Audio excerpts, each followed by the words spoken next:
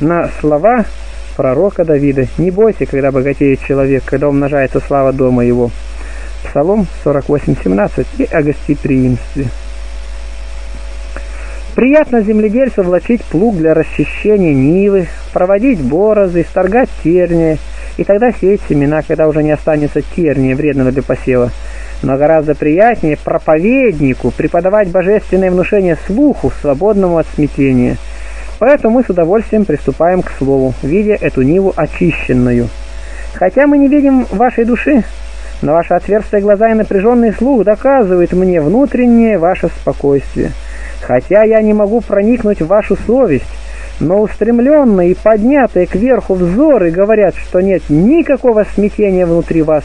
Или лучше, ими вы усердно взываете, бросай семена, мы примем посеянное, в надежде на плод, потому что мы изгнали из души всякую житейскую заботу. Вот почему и я всегда касаюсь глубочайших мыслей, надеясь на добрые нивы. Писание требует не только мудрого наставника, но и разумного слушателя. Поэтому я ублажаю вас, а вместе считаю блаженным и себя. Блажен, говорит Писание, кто говорит в уши слушающих. Сирах 25, 12. Еще блаженны алчущие и жаждущие правды. Так, вам, которые с усердием пришли сюда, мы преподаем наставление. Все другие находятся теперь на торжищах и изнуряются житейскими заботами, а вы, став выше земли, принимаете духовное внушение. Они раболепствуют рабыни, заботясь о плоти, а вы соблюдаете и украшаете свою благородную и свободную душу. Где ты, человек, находишься теперь? На торжище. Чего ищешь? Грязи и пыли приди сюда и прими от меня мира. Для чего ты собираешь богатство погибающее, предаешься сребролюбию этому тирану, домогаешься власти, скоро приходящей, заботишься о вещах житейских, которые сегодня существуют, а завтра нет? Для чего срываешь цветы, а оставляешь плод? Для чего бежишь за тенью, а не принимаешь истины? Для чего гоняешься за исчезающим, а не ищешь пребывающего? Во всякая плоть, как трава, и всякая слава человека, как цвет на траве. Сохнет трава, цвет отпадает, а слово Господне пребывает вовек. Исайя 46. Ты имеешь много богатства, но что в этом для души? Ты богат деньгами, но беден душою, украшаешься листьями, но не имеешь плода. Какая, скажи мне, от этого польза? Ты приобрел деньги, которые после оставишь здесь. Приобрел власть, которая сопровождается кознями. «Приди сюда, насладись мудрой беседою, изгладь свои грехи, истреби свои беззакония, очисти свою совесть, возвысь свой ум, будь ангелом и человеком, оставь узы плоти и возьми легкие крылья жизни, отрешись от видимого и держись невидимого, взойди на небеса, ликуй с ангелами, стань перед престолом высоким, превознесенным, Оставь этот дым, эту тень, это сено, эту паутину. Я не нахожу достойного названия здешней суете. Говорю это и не перестану говорить. Приди и будь человеком, чтобы не напрасно было приписываемо твоему существу это имя. Поняли ли сказанное вам? Он, говорят, человек. Да, он человек, но часто только по имени, а не человек по душевному настроению. Когда я вижу тебя живущим безумно, то как назову тебя человеком, а не валом? Когда вижу тебя расхищающим чужое, то как назову тебя человеком, а не волком? Когда вижу тебя блудодействующим, то как назову тебя человеком, а не свиньёю? Когда вижу тебя коварным, то как назову тебя человеком, а не змеем? Когда вижу тебя имеющим яд, то как назову тебя человеком, а не аспидом? Когда вижу тебя безрассудным, то как назову тебя человеком, а не ослом? Когда вижу тебя прелюбодействующим, то как назову тебя человеком, а не конем неистовым? Когда вижу тебя непокорным и бесчувственным, то как назову тебя человеком, а не камнем? Ты получил от Бога благородство, для чего же изменяешь достоинство природы? Скажи мне, что ты делаешь? Некоторые люди умеют, сколько возможно, выучивать животных тому, что свойственно человеку. Попугаев научает говорить человеческим голосом, побеждая искусством природу. Львов делает ручными и водит их по площадям. Так, льва — неукротимое животное, ты делаешь кротким, а сам оказываешься свирепее волка. И что еще хуже, каждое из бессловетных животных имеет один какой-нибудь недостаток. Волк хищен, змей коварен, аспид ядовит, а у злого человека не так. Человек часто имеет не один недостаток, но бывает и хищен, и коварен, и ядовит, соединяя в душе свои страсти животных. Как же я назову тебя человеком, когда ты не имеешь царственного отличия, не имеешь диадемы, не имеешь багреницы? Сотворим, сказал Бог человека, по образу нашему и по подобию. Размысли, человек, по какому образу ты создан, и не унижай себя до низости скотов. Если бы ты увидел царя, бросившим багреницу и диадему, поставляющим себя наравне с воинами и изменяющим своему сану, то назвал ли бы ты его царем? Ты человек. Не доказывай мне, что ты имеешь душу человека, но покажи, что ты человек по душевному настроению.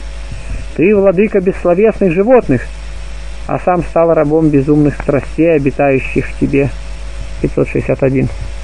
Но как скажешь, я сделаюсь человеком, если будешь обуздывать мудрование плоти? Эти безумные мудрования, если оставишь блуд, если исторгнешь неумеренную страсть к богатству, этому злому тирану, если сделаешь ниву свою чистую, как ты можешь сделаться человеком, если будешь приходить сюда, где делается человеками? Я возьму тебя конем и сделаю человеком. Возьму тебя волком и сделаю человеком. Возьму тебя змеем и сделаю человеком, не изменяя природы, а изменяя волю. Ну что говоришь ты? Я имею детей, управляю домом, забочусь о жене, угнетен бедностью, стараюсь приобрести необходимое пропитание. Все это отговорки и предлоги.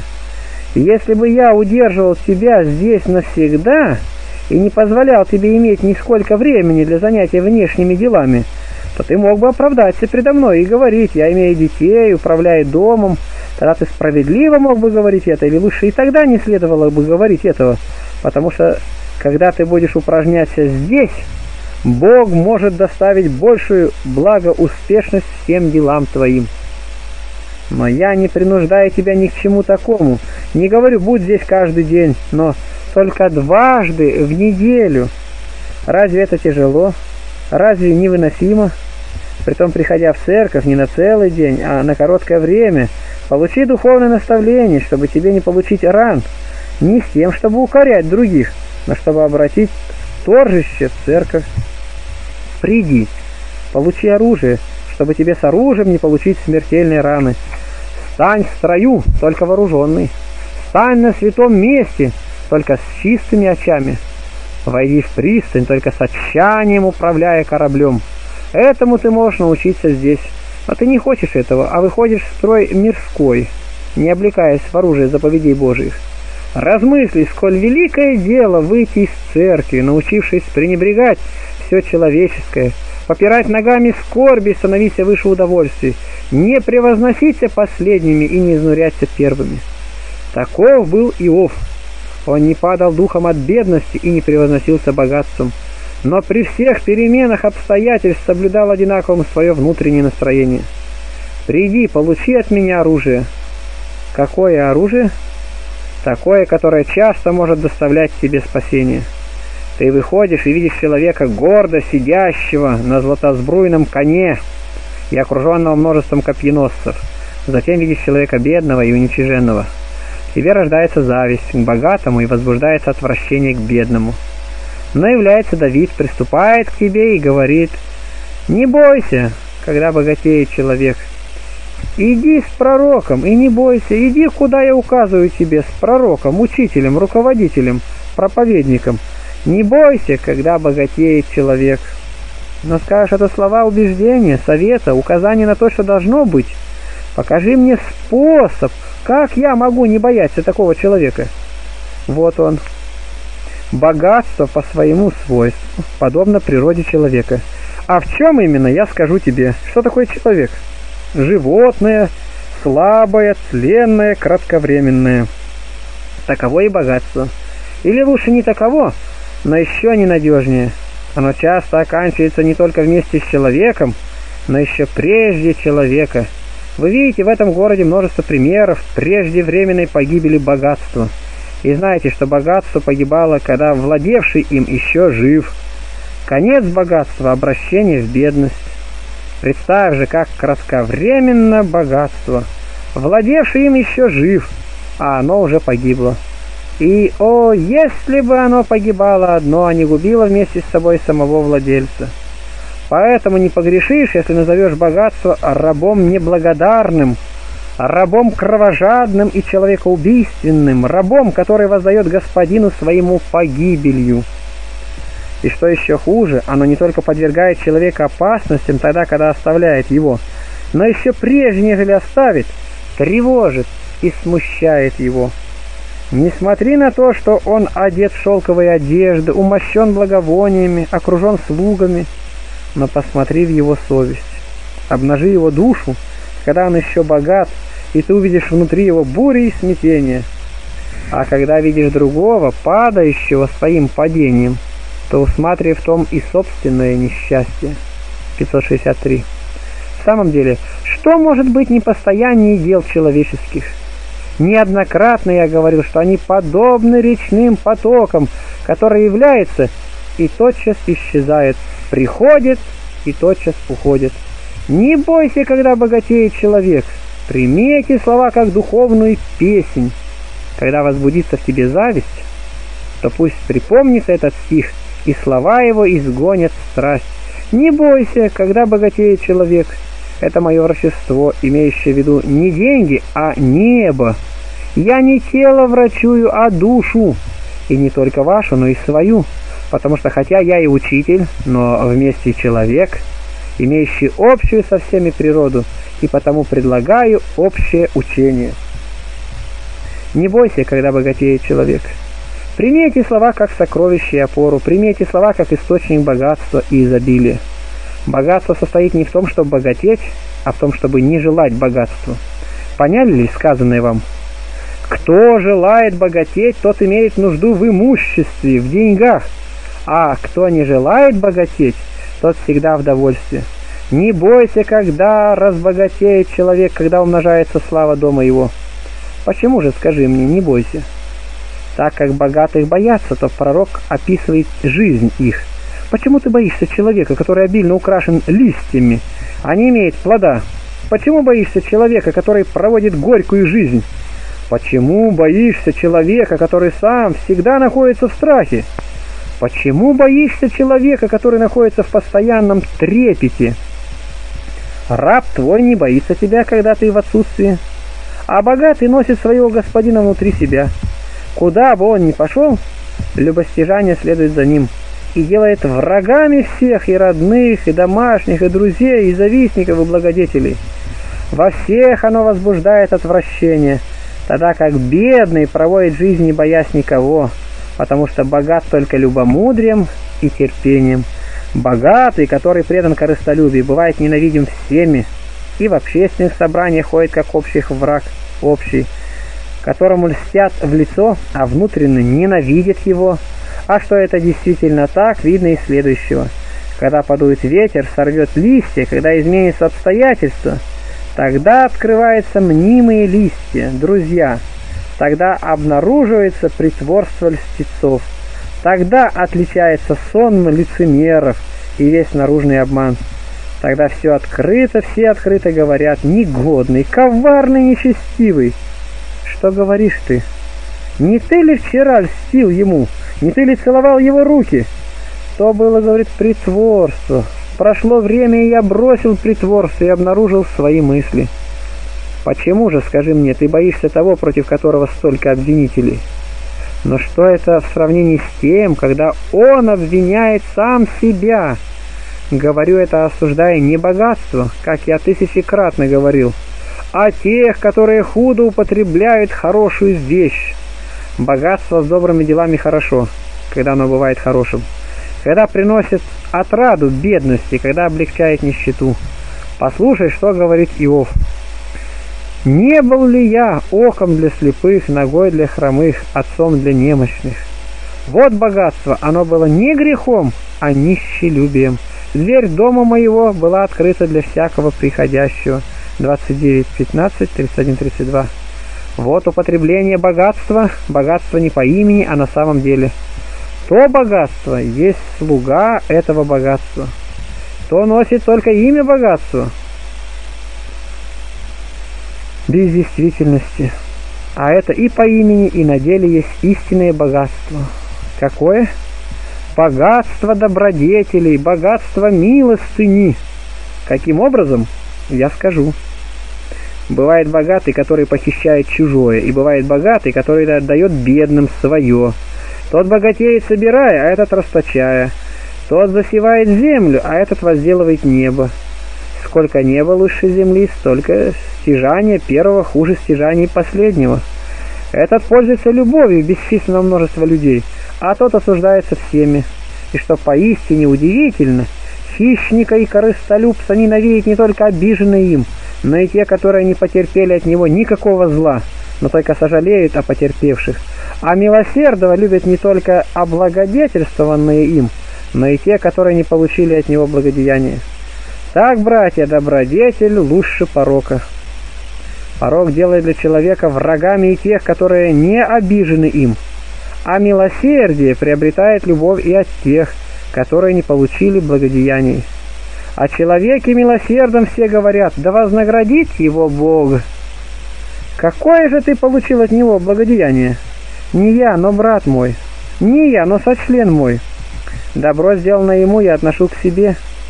Видишь ли, какова добродетель, как она вожделенна, как любезна, как прекрасна. Человек милосердный есть общее пристанище, отец всех, подпора престарелых. А милосердным, если случится с ним какое-нибудь несчастье, все молятся, помилуй его, Боже, сохрани его, надели его добром. Но подойди к дому хищника, и ты услышишь, как говорят о нем негодный, коварный, нечестивый. Какую же ты получил от него обиду? Я? Никакой, но брат мой. На него каждый день бесчисленное множество жалоб. А когда он падает, то все нападают на него. Это ли жизнь? Это ли богатство? Не гораздо ли это хуже жизни осужденного преступника? Осужденный связан по телу, а этот по душе. Ты видишь его связанным и не жалеешь его? И отвращаясь от него, потому что он связан не по нужде, а по произволению, потому что он сам наложил на себя узы. 565. Опять скажут мне, ты против богатых, а вы опять против бедных, опять ты против хищников, а вы опять против тех, у кого похищают. Вы не насыщаетесь, пожирая и терзая бедных, и не насыщаясь я, исправляя вас. Постоянно ты покровительствуешь этим людям, постоянно покровительствуешь бедному. Но отступи ты от овцы моей, удались от стада моего, не вреди ему. Ты вредишь моему стаду и осуждаешь, что я отгоняю тебя. Если бы я был пастырем обыкновенных овец, то ты осудил бы меня, когда бы я не отгонял нападающего на них волка. Я пастырь разумных овец, отгоняю не камнем, а словом. Или лучше не отгоняю тебя, а призываю тебя, сделайся овцою, приди, будь в моем стаде. Для чего ты вредишь стаду, которое ты должен был бы увеличить собою? Я отгоняю не тебя, но отгоняю волка. Если ты не волк, то я не отгоняю тебя. Если же ты стал волком, то обвиняй самого себя. Я не против богатых, но за богатых. И когда говорю это, то за тебя говорю, хотя ты и не чувствуешь этого. Как за меня говоришь ты? Так. Я удаляю тебя от греха, избавляю тебя от хищения, делаю тебя для всех любезным, для всех вожделенным. Я постоянно говорю тебе, не похищал ли ты, не искал ли корысти. Приди, и я изменю тебя, и изменю вражду в дружбу, опасность в безопасность. Это я сделаю для тебя здесь, а там доставлю тебе Царство Небесное, чтобы ты не подвергся бесконечным мучениям, чтобы ты получил благо, которых око не видело, ухо не слышало и на сердце человеку не приходило. кому это свойственно, отгоняющему или советующему, любящему или ненавидящему тебя. Но скажешь, ты ненавидишь меня. Нет, я люблю тебя. Я имею заповедь Господа моего, любите врагов ваших. Я не перестану врачевать тебя. Господь наш, будучи распят, говорил, «Отче, отпусти им, ибо не знают, что творят». Разве тебя я преследую? Я преследую страсть твою. Разве с тобой я сражаюсь? С пороком твоим. И ты не считаешь меня благодетелем? Не считаешь меня покровителем? Не считаешь меня твоим защитником больше всех?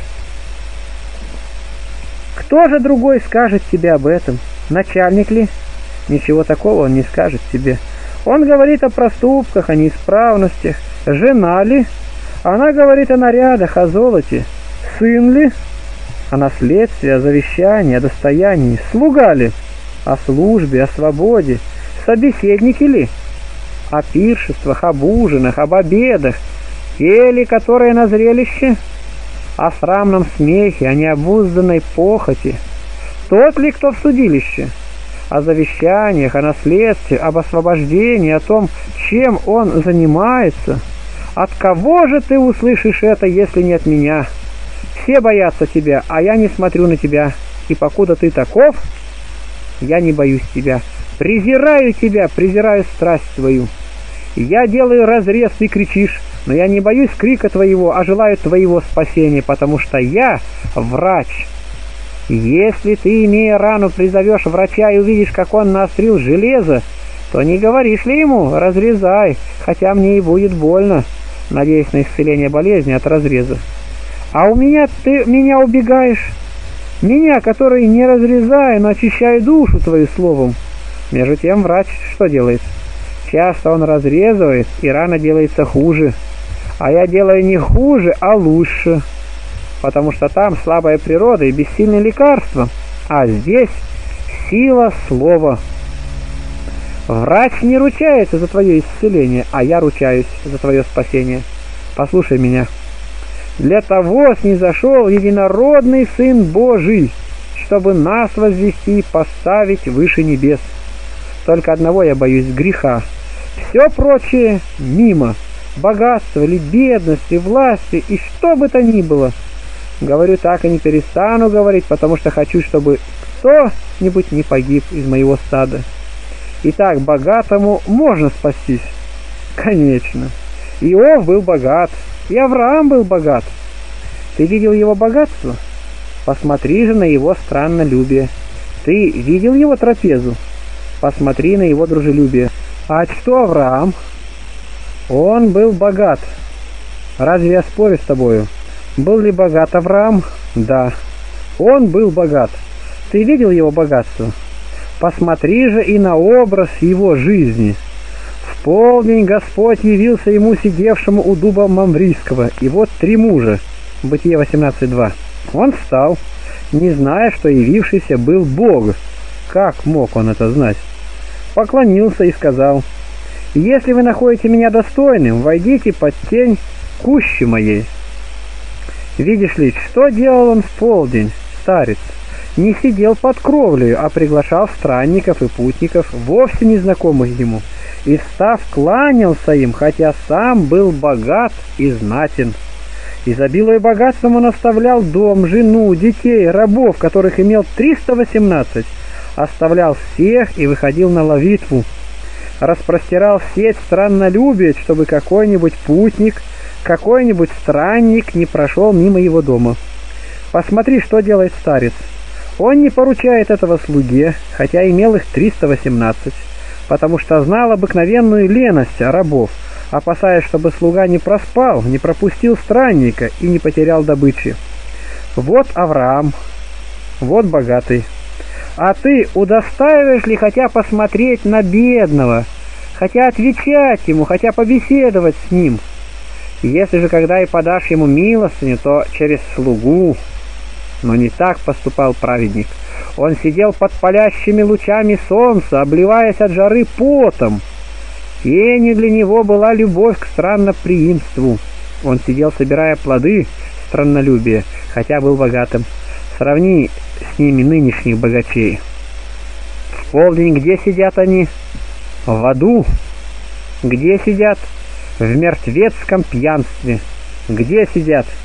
На торжище, распростертые, пьяные, ослепленные сердцем, безумнейшие бессловесных животных. Но не так поступал праведник. Хочешь ли подражать Аврааму?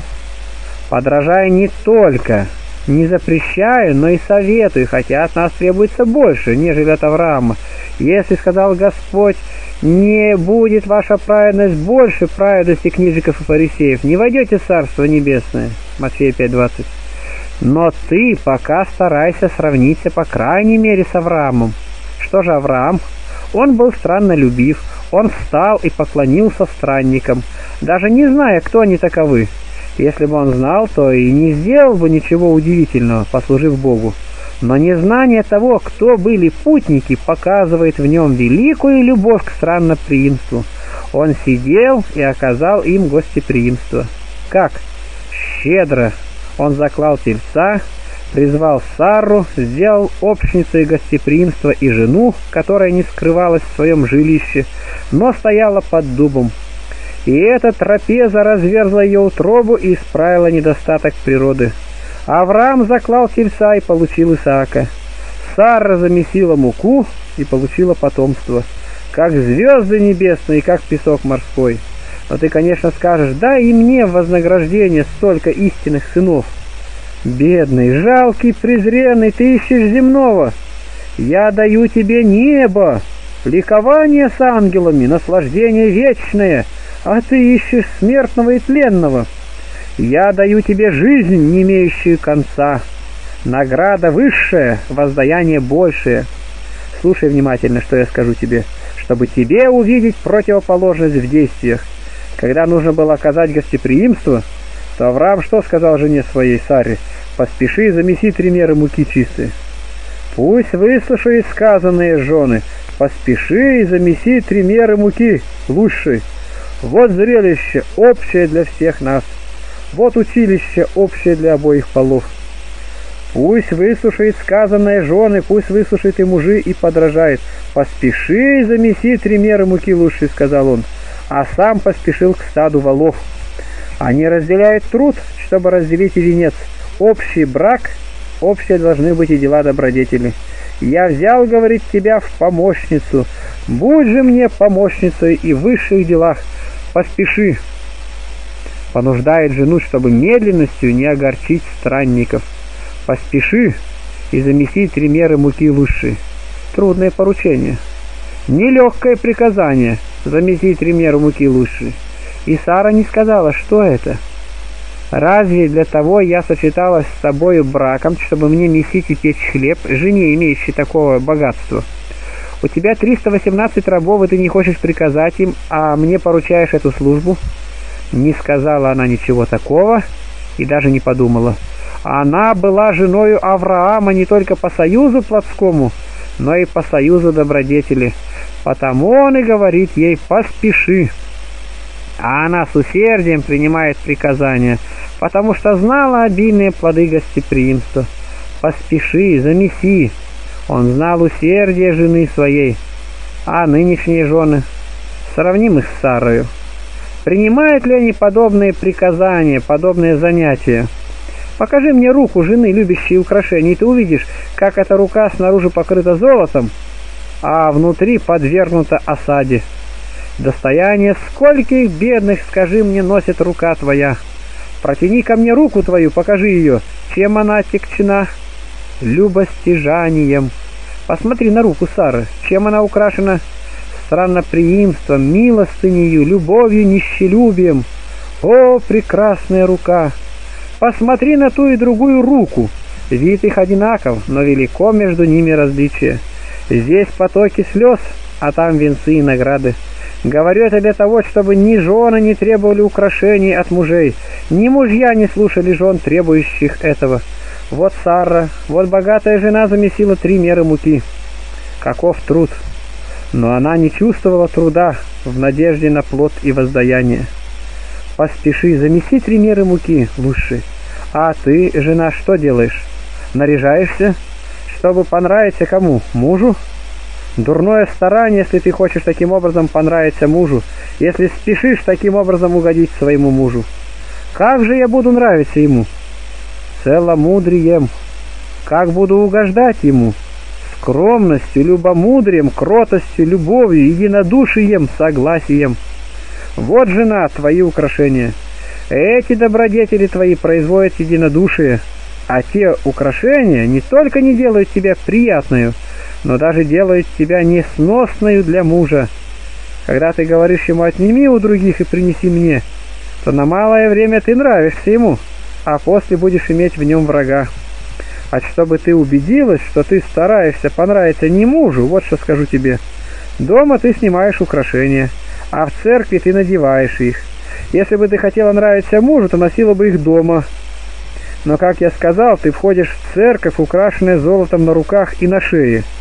Если бы пришел сюда Павел, этот муж страшный и вместе вожделенный, страшный для грешников и вожделенный для благочестивых, который взывает и говорит так, «Да будет украшением жен не золото, не бисер или многоценные одежды». 1 Тимофея 2.9. Потом, если бы вошел сюда язычник и увидел вверху женщин, носящих такие украшения, а внизу Павла, так проповедующего, то не сказал ли бы он, что здесь театральное зрелище и баснословие? Нет, наше собрание не зрелище, хотя здесь и делаются такие дела. Но язычник соблазняется и говорит, я входил в христианскую церковь, слышал Павла говорящего, не золотом или жемчугом, и видел женщину, показывающую делами совершенно противное – 569. Какая тебе жена польза от золота? Чтобы казаться красивой и благообразной? Но это нисколько не придает красоты душе твоей. Будь красива душой, тогда будешь приятной по телу. Мудрость человека просветляет лицо его, Екклесиаста 8.1. А мудрость есть свойство души. Ничто так не производит расположения и привязанности, как любовь. Если муж любит тебя, то хотя бы ты была и безобразна, ты кажешься ему приятной. А если он ненавидит тебя, то хотя бы ты была благообразна, он не захочет смотреть на тебя. Ненависть души не позволяет видеть красоты лица. Когда ты станешь требовать от него нарядов и золота, тогда и он возненавидит тебя и станет убегать от тебя, как от человека, пристающего к нему с требованиями на торжище. Но от того он может убежать, а от тебя не может так как ты всегда находишься при нем и требуешь услуг, не согласных с разумом. Все это, жена, ты не только принимай слухом, но пусть изменится и сердце твое. Слова мои суть горькие лекарства, горькие на время, но доставляющие постоянную радость.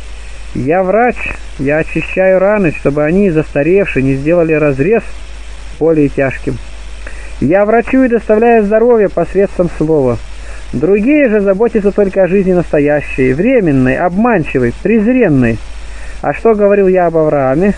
Я не забыл обещания. Слова его «поспеши, замеси». Пусть каждая жена начертает в своем сердце, и каждый муж пусть содержит в своей совести. Для чего, скажи мне, ты носишь шелковые одежды, ездишь на златосбруйных конях и украшенных лошаках? Лошак украшается снизу, золото лежит и на покрывале его. Бессловесные лошаки носят драгоценности, имея золотую узду. Бессловесные лошаки украшаются, а бедный, томимый голодом, сидит при дверях твоих, и Христос мучится голодом. О, крайнее безумие! Какое оправдание, какое прощение получишь ты, когда Христос стоит перед дверьми твоими в виде бедного, а ты нисколько не трогаешься. Кто избавит тебя от тамошнего наказания? Я подал, говоришь ты, милостыню. Но подавай не столько, сколько хочет бедный, а сколько ты можешь. Что, скажи мне, ты будешь отвечать тогда, когда настанут невыносимые наказания, тамошние мучения, казни, страшные силы, когда будет кипеть река огненная, когда явится страшный престол, неподкупное судилище, безначальное существо — Конец дел человеческих, когда ни отец, ни мать, ни сосед, ни царь, ни путник, ни странник не помогут тебе. Но будет стоять человек один со своими делами, осуждаемый за них или венчаемый за них. что ты скажешь тогда? Тогда ты припомнишь слова мои, но какая будет тебе польза? Никакой. Так и тот богач вспомнил и искал времени покаяния, но не получил никакой пользы. Пошли, он говорит, Лазаря, чтобы мочил конец перста своего в воде и прохладил язык мой, ибо я сильно страдаю. Но Лазарь не был послан не потому, чтобы одна капля принесла ущерб великому райскому источнику, но потому что капля милосердия не смешивается с жестокостью. Так как во время подвигов богач презирал его, то во время венцов он не удостоил богача никакого утешения. 570. Говорю это для того, чтобы ни бедный не плакал от бедности, ни богатый не радовался богатству. Ты богат? Гибельно богатство, если ты не употребляешь его надлежащим образом. «Поспеши и замеси три меры муки», — сказал Авраам, а сам побежал к стадам и заколол тельца. Старец бежал скоро. Слабость тела не остановила, а любомудрый дух укрепил его. Усердие победило природу. Господин 318 рабов нес тельца и не тяготился бременем, но окрылял душу усердием. Старец принял на себя сходить поспешно и много служить, а жена приняла на себя труд и хлопоты. Они угощали странников не только щедрым подаянием денег и обильной трапезой, но и услужливостью и совершенным угождением, не через рабов, но собственными руками и другими членами. Потом жена стояла в виде служанки, а странники, незнакомые, возлежали. Я не перестану говорить об этом. Они считали пришельцев за людей бедных, но не смотрели на это, а приняли их как странников – и оба предстояли при этом, собирая грозды странноприимства, добрым расположением, любомудрием, услужливостью, ласковостью, трудами, угождением, любовью, заботливостью, усердием, всецелой предупредительностью. Жена стояла под деревом, пользуясь деревом как бы брачным чертогом, и имея покровом тень листьев, и не стыдилась стоять в виду пред всеми. Она стояла, отличаясь собственной красотою и собирая плоды служения. Что же пришедший? «Приду», — сказал он, — «во время это и будет сын Сары». Какой плод произрастила трапеза, какой прекрасный, какой скорый, какой зрелый, какой сочный и спелый грозд.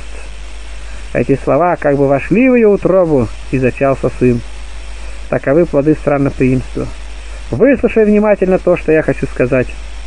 Впоследствии, когда вырос сын, рожденный от трапезы, когда плод странноприимства сделался мужем, родило же его не столько чрево, сколько трапеза, а прежде всего Слово Божие, когда он вырос и стал мужем, и, наконец, пришло время вступления в брак, слушай внимательно, что я говорю, когда блаженный старец патриарх Авраам приближался к смерти, а жил он среди женщин развращенных, и народа нечестивейшего. Тогда он призвал раба своего и сказал, «Здесь нечестивые женщины хананейские. Чего же ты желаешь? Пойди, — говорит, — в землю, где я родился, и приведи оттуда жену сыну моему». Необыкновенные и дивные дела. Вы знаете и хорошо знаете, когда кто-нибудь хочет женить своего сына, то отец и мать совещаются, ходят по чужим домам, одному льстят, другому угождают, причем является множество свах и сватов, делается обещание денежных вознаграждений, и все хлопоты, переговоры отец и мать принимают на себя, и не стыдятся, не краснеют, не поручают слугам. А когда придет странник, то говорят слуге, «Пойди, отведи его вниз, прими его». Но Авраам поступал наоборот. Когда нужно было сделать высокое и любомудрое дело, то он делал сам. Не поручал гостеприимство слуге, но жене и себе. А когда дело шло о приискании жены и браке, то сказал слуге, поди ты. А здесь жены поступают напротив. Если не хотят переговорить с золотых дел мастером, то не стыдятся и идут сами. И сидят при работе его, чтобы не украли золото. Страсть к богатству заставляет их презирать стыд и приличие. Но Авраам поступал не так. Когда нужно было принять странников, то делал это сам и жена его. А когда дело касалось брака, то действовал через слугу. Но скажешь, почему ты упомянул об Аврааме? Потому что он был богат. Помни это и ты об Аврааме, никогда не будешь презирать никого. А как я дошел до речи об этом? Взяв руководство слова пророка. Не бойся, когда богатеет человек. Этот стих произвел все это. И вот мы нашли в нем сокровище, обильное золотом. Не бойся, когда богатеет человек. Возьми этот посох, который может поддерживать дрожащее от слабости тело. Действительно, не столько посох поддерживает дрожащее тело людей слабых и старых, сколько этот стих укрепит колеблющуюся душу молодых и старых, осаждаемых похотями и грехами. Не бойся, когда богатеет человек. Что ты боишься человека, которого скорее можно назвать волком, нежели человеком? Что ты боишься человека, который исполнен нечестие и погряз в золоте? Что ты боишься человека, который неправдою потерял собственные блага и постоянно имеет внутри себя врага? Но мне пророк объявил, не бойся, когда богатеет человек. Скажи же мне теперь и то, каким образом я могу не бояться богатого? Или когда умножается слава дома его? 572. О, прекрасное выражение! Какая мудрость заключается в этом изображении и наставлении! Не бойся, когда богатеет человек или когда умножается слава дома его. Не сказал, когда умножается слава его, но слава дома его. Так, когда ты войдешь в дом какого-нибудь богача и увидишь огромные колонны, золотые карнизы, обложенные мрамором стены, фонтаны, источники, портики, колеблемые ветром деревья, покрывающие всю мозаику, толпу слуг, одетых в золото евнухов, множество слуг, усланный коврами пол, блистающие золотом столы, великолепные спальни, то все это слава дома, а не слава человека. Славу человека составляет благочестие, скромность, милосердие, кротость, смиренно мудрее, мир, правда, нелицемерная любовь ко всем. Все это слава человека. Что же ты боишься богатого? Бойся лучше дома его, потому что богат дом, а не живущий в нем. Но скажешь, я не боюсь дома. Почему? Потому что золото есть бездушное вещество. А человека богатого боишься? Да. Почему? Разве богатство есть его принадлежность? Оно только украшение дома. Стены обложены мрамором. Какое же отношение к человеку, живущему в них? Потолки в золоте. Какое отношение к их владельцу? Главы колонн золотые. Какое отношение к голове хозяина, оскверненной грехами? Пол чист, но совесть нечиста. Одежды шелковые, но душа покрыта рубищами. Дом богат, но хозяин дома нищий, когда умножается слава дома его. А чтобы вы убедились, что это действительно слава дома, а не человека, я докажу вам это вашими же словами. Часто, входя в чей-нибудь великолепный дом и выходя из него, что говоришь ты? Я видел прекрасные мраморы. А не говоришь, я видел прекрасного человека. Удивительные колонны, прекрасные окна. А не говоришь, удивителен живущий там. Множество золота на потолке. А не говоришь, много милосердия в хозяине. Много фонтанов, много богатства а не говоришь много богатства в самом владельце. Всегда ты говоришь о стенах, всегда о мраморах, всегда о фонтанах, всегда об источниках. Опять, когда ты видишь коня, украшенного золотой уздой, ты говоришь «прекрасная узда». Это похвала мастеру золотых дел. Прекрасная одежда. Это похвала ткачу. Прекрасные рабы. Это похвала купившему их. Таким образом, сам хозяин остается неувенчанным, а вещи, находящиеся около него, удостаиваются похвал.